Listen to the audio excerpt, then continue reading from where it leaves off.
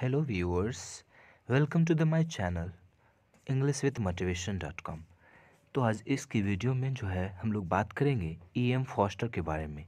आप लोगों ने शायद ई एम फॉस्टर का नाम सुना होगा। ई एम फॉस्टर जो थे अंग्रेज़ी कवि, बहुत ही चर्चित नाम है इनका। तो आइए शुरू करते हैं। इनके बारे में हम लोग जानते हैं डिटेल्स में। तो एडवर्ड मॉर्गन फॉस्टर, जिनका जन्म इंग्लैंड के लंदन नामक जगह पर हुआ था, जो कि राजधानी भी है, और द फ़र्स्ट डे ऑफ़ 1879 यानी फ़र्स्ट जनवरी 1879 में इनका जन्म हुआ।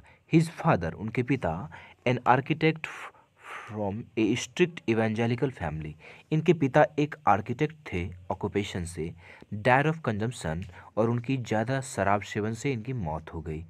After Forster was born Forster के कुछ दिन बाद, जन्म के कुछ दिन बाद leaving him to be raised by his mother and paternal great aunt यानी इनका जो लालन पालन, इनका जो पोषण हुआ था, वो उनकी माँ और उनकी पैटर्नल ग्रेट अंट के द्वारा हुआ था।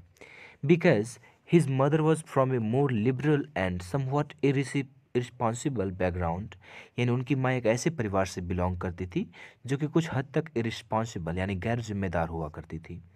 Forster's home life was rather tense इनका जीवन तनाव से भरा हुआ था। He was raised in the household of a Rooksnest which inspired Howards End इन्होंने जिन परिस्थितियों में अपने आप को संभाला, उनसे इंस्पायर होकर इन्होंने बहुत सारे वर्क्स की भी रचना की। जैसे कि यहाँ पर एक नाम आप देख सकते होंगे होवार्ड्स एंड होवार्ड्स इन इन्हीं की रचना है और ये अपने डिफ़िकल्ट सिचुएशन से जो कुछ भी इन्होंने सीखा था, जाना था, उसी के बारे में इन्होंने अपना अनुभव लिखा था। Forster was educated as a day boy at the Tonbridge school Kent Kent जो है एक जगह है, इंग्लैंड में ही है। वहीं इनकी शिक्षा दीक्षा हुई।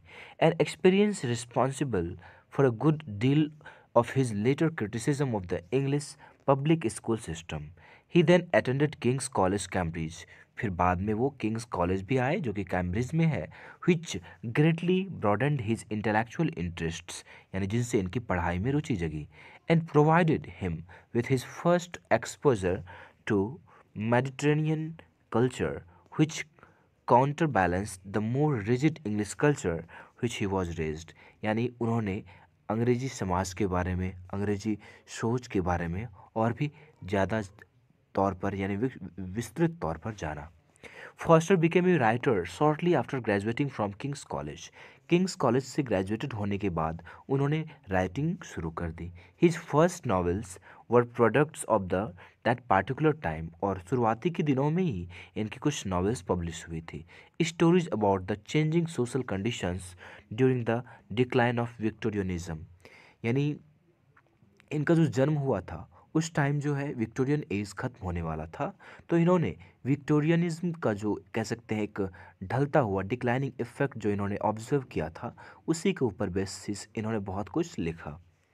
However these earlier works differed from Forster's contemporaries in their more colloquial style and establish the author's early conviction that the man and women should keep in touch with the land to cultivate their imaginations यानी इनका सोच अन्य author से बिल्कुल ही भिन्न था और इनका मानना था कि यदि आपको सपने देखने हैं, यदि आपको जीवन में कुछ अच्छा करना है तो भी आपको ज़मीन से जुड़ा रहना होगा। मतलब सोच आपको बेसिक तौर पर बहुत ही अच्छी रखनी होगी।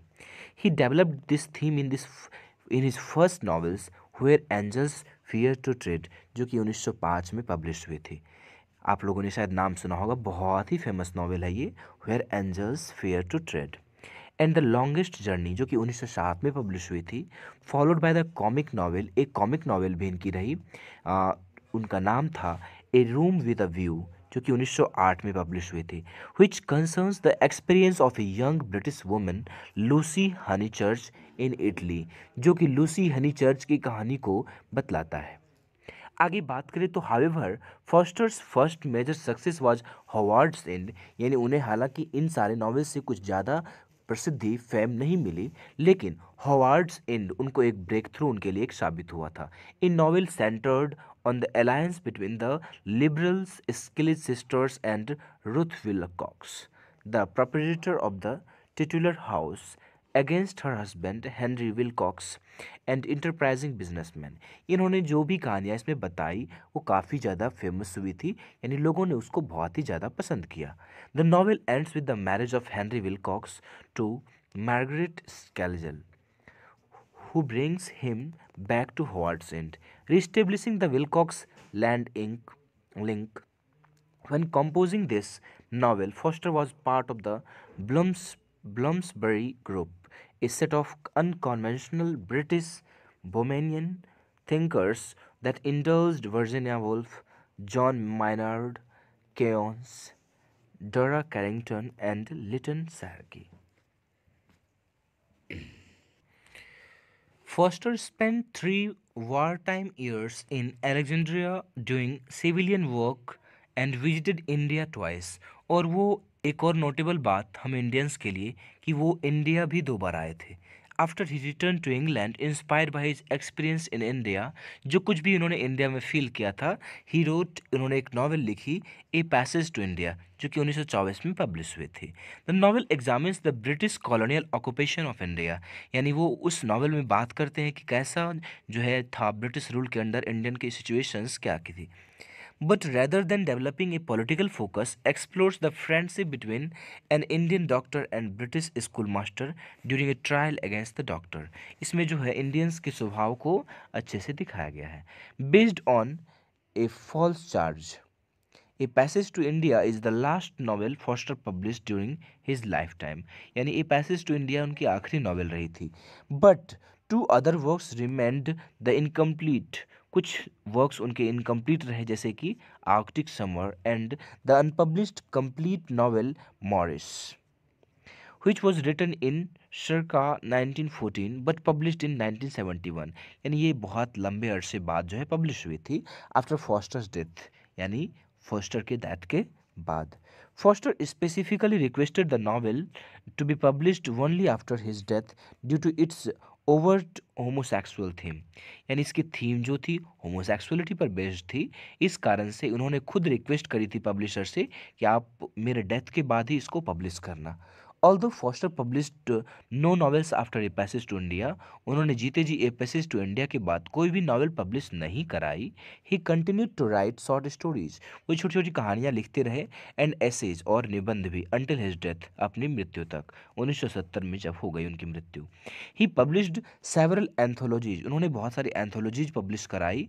एंथोलॉजीज नहीं जानते हो तो मैं आपको बता दूँ एंथोलॉजीज कहलाता है द कलेक्शन ऑफ़ पोएम्स यानी एक ऐसी पुस्तक जिसमें ढेर सारी कविताओं का संग्रह हो, उसे हम एंथोलॉजी कहते हैं। इंक्लूडिंग द कैलेस्ट्रियल ऑमनिबस जो कि 1914 में पब्लिश हुई थी एंड द इटर्नल मोमेंट जो कि 1928 में पब्लिश हुई थी two collections of short stories Abinger Harvest जो कि 1936 में पब्लिश हुई a collection of poetry essays and fiction and several non fiction works Foster also wrote the libretto to the Benjamin Britten opera Billy Budd. The essays by Foster, as well as his frequent lectures on political topics, established his reputation as a liberal thinker and a strong advocate of democracy. यानी उनकी speech से उनके thoughts से उनकी writing से ऐसा हमें लगता है कि वो डेमोक्रेसी के बहुत ही बड़े सपोर्टर थे। यानी उन्होंने कुछ हद तक डेमोक्रेसी को सपोर्ट किया। अर्थात हम कह सकते हैं कि वो भी चाहते थे कि इनफैक्ट उनके कंट्री में भी जो है डेमोक्रेसी की इस्टेब्लिशमेंट होनी चाहिए। Foster was awarded membership in the Order of Companions of Honor in 1953. In Order of Merit या Order of Honor भी मिला uh, Foster was awarded membership in the Order of Companions of Honor in 1953 1953 में and received the Order of Merit और Order of Merit भी मिला किनसे तो queen Elizabeth से, कब तो उन्नीस सौ उनहत्तर में। He died in June of 1970 after a series of strokes यानी बहुत सारी परेशानियों का सामना कर, करके जो है, वो जो है लास्ट में उन डेथ को प्राप्त हुए। चलिए तो today many people know him know him due to the many film adaptations of his work बहुत सारे उनके वर्क्स पर फ़िल्म भी बेस्ड हैं, यानी फ़िल्में बनाई गई हैं, उनको फिल्माया गया है। इस कारण से ही उन्हें लोग ज़्यादा जानते हैं। Titles by E.M. Foster that are immortalized not only on the page, but also on film, include A Passage to India. और A Passage to India एक फ़िल्म भी बनी है, जो कि काफ़ी फ़ेमस हुई। A room with a view कुछ और भी है, जैसे a room room with a view where angels fear to tread and Howards End it is ironic that so many of his titles were made into movies और ये बात भी कहने में नहीं बनती कि उनकी ढेर सारी टाइटल्स को चुरा कर कॉपी करके फ़िल्मों में डाला गया है। मैनी विद ग्रेट सक्सेस उनमें से बहुत को बहुत ही अच्छी सफलता प्राप्त हुई। As throughout his life he remained adamant about the difficulty of adapting books to stage और फ़िल्म जीते जी तो ऐसा कुछ नहीं हुआ, लेकिन उनके मरने के बाद ऐसा पॉसिबल हुआ। इन 1919 1919 में he contributed regularly to the London literary magazine the Athenaeum often criticizing various attempts to convert written work to the stage. For him, the individual experience of reading a book was something that could not be captured in another form of media. यानी इनका मानना था कि हम यदि पुस्तकें पढ़ते हैं तो उसको हम लिख कर ही एक्सप्रेस कर सकते हैं और कोई माध्यम से उसको एक्सप्रेस नहीं कह सकता है that can be not that can not be expressed in any other means और मीडियम डिस्पाइट हिज बिलीव्स अपनी मान्यताओं के बावजूद many of the film adaptations of the Forster's work were met with the widespread enthusiasm and praise हालाँकि उनके novels को लोगों ने पढ़ा था, लेकिन उसके बावजूद, जब फ़िल्म आई गई इसे तो लोगों ने बहुत ही ज़्यादा इसको पसंद किया including multiple Academy Award nominations और ढेर सारे उन्हें अवार्ड्स भी दिए गए। तो आई होप आप समझ सकते हैं इनकी इनका लाइफ लाइफ स्पैन जो है कितना ज़्यादा इंपॉर्टेंट रहा था। यार आप, और आपके लिए भी बहुत ही इंपॉर्टेंट है एग्ज़ाम के पॉइंट ऑफ़ व्यू से तो आप इसे ज़रूर जानें और यदि वीडियो समझ ना आए तो आप दोबारा इसे देख देख सकते हैं। तो thank you for watching the video यदि वीडियो इन्फॉर्मेटिव लगे तो वीडियो को लाइक करें, अपने दोस्तों के साथ शेयर करें एंड चैनल को सब्सक्राइब करें। धन्यवाद।